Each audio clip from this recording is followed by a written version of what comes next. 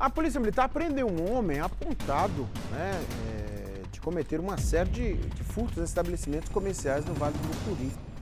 É, imagens de circuitos de monitoramento é, ajudaram os militares a identificar o suspeito.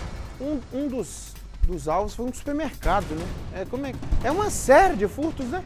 É, vamos ver aqui na reportagem, balança. O homem preso pela PM na madrugada é suspeito de uma série de furtos e arrombamentos a estabelecimentos comerciais no centro de Teófilo Otoni.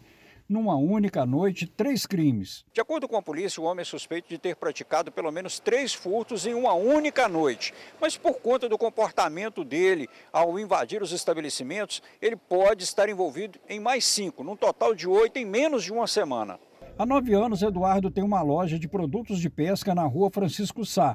Um vizinho o informou que a loja amanheceu aberta. Hoje, na parte da manhã, aproximadamente às 7 horas, é, teve um colega lá, lá da, próximo, que é Marco Aurélio, ele me ligou, perguntando se eu estava dentro da loja, que viu a porta do meio lá encostada, né, que é a porta pequena.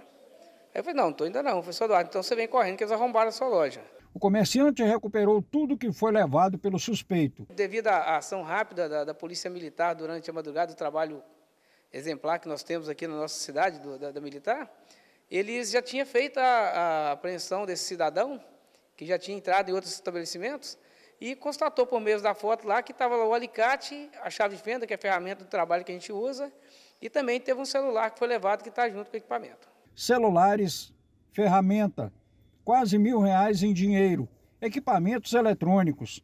Todos esses materiais estavam com o homem preso na madrugada, segundo o tenente Paulo. Numas ruas adjacentes ao local indicado inicialmente na denúncia, o indivíduo ele foi localizado, foi abordado pela, pela guarnição e com ele foram encontrados ali, a princípio, sete celulares, é uma quantia de mais de 800 reais em dinheiro, né? e também alguns outros materiais. No supermercado furtou garrafa de bebida alcoólica. Nessa outra imagem, ele se aproxima de uma outra loja para furtar mercadorias. Dos três furtos a estabelecimentos comerciais em uma única noite, dois foram aqui na rua Francisco Sá, no centro de Teófilo Otoni. O que a Polícia Militar recomenda é que os comerciantes atualizem, mantenham o sistema de segurança em bom estado de utilização. É os comerciantes, né, a gente recomenda que sempre que possível é, utilize esses sistemas de segurança, de vídeo monitoramento, de alarme, que isso aí facilita demais em uma eventualidade o serviço da Polícia Militar.